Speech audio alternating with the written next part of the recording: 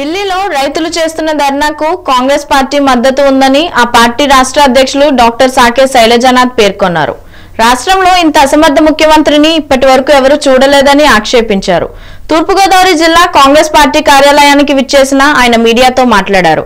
ఈ కార్యక్రమంలో రాష్ట్ర బీసీసీఎల్ అధ్యక్షులు నురుకుర్తి వెంకటేశ్వరరావు సిటీ అధ్యక్షుడు ఆకుల వెంకటరమణ తదితరులు పాల్గొన్నారు. రైతాంగ పోరాటానికి మద్దతిమ్మని ఆంధ్రప్రదేశ్ రాష్ట్ర ప్రజల్ని కోరుతా ఉన్నాం.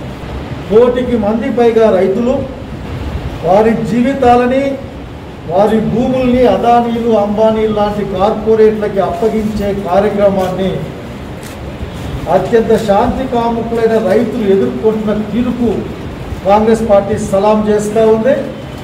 రైతు దుష్మన్ పార్టీలైన భారతీయ జనతా పార్టీ జగన్మోహన్ రెడ్డికి హెచ్చరిక కూడా చేస్తూ ఉన్నారు తక్షణం మీరు ఆ మూడు బిల్లుల్ని వెనక్కి తీసుకోండి. ఏ విధంగానూ లాభం లేదు. కనీసం మద్దతు ధర లిఖితపూర్వకంగా ఇమ్మంటే ఇవ్వడానికి కూడా వాళ్ళు ఒప్పుకోవడం లేదు.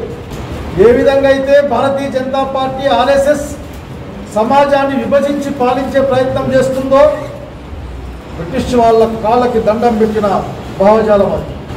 అట్లాగే రైతుల్ని విభజించే ప్రయత్నాన్ని మానుకోమని చెప్తా ఉన్నాం. రాహుల్ గాంధీ గారి నాయకత్వాన కాంగ్రెస్ పార్టీగా రైతుల పోరాటానికి సంపూర్ణమైన మద్దతు ప్రకటించమని ప్రకటిస్తూ ఉన్నాం. ఈ రాష్ట్రానికి వస్తే జగన్మోహన్ రెడ్డి గారిని కోరుతా ఉన్నాం. ఎంత చులకన చేశారు పాత అసెంబ్లీని మీరు. శాసనసభలకున్న గ- గౌరవాన్ని నట్టి నడియేట్లో కలిపేశారు మీరు. దూషణలు భూషణలు కాదు చివరికి చెప్పులతో కొట్టుకుంటామనేంత స్థాయికి శాసనసభని దిగజార్చినందుకు అధికార పక్షం రాష్ట్ర ప్రజలకు క్షమాపణ చెప్పాలి